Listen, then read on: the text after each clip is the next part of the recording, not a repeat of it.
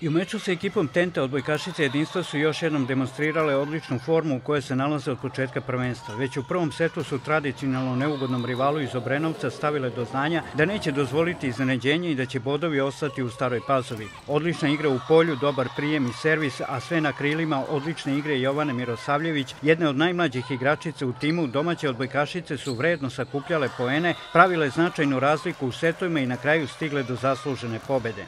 Mi smo nastale pobedonosne niz i ja sam ove sezone zadovoljan svakom pobedom.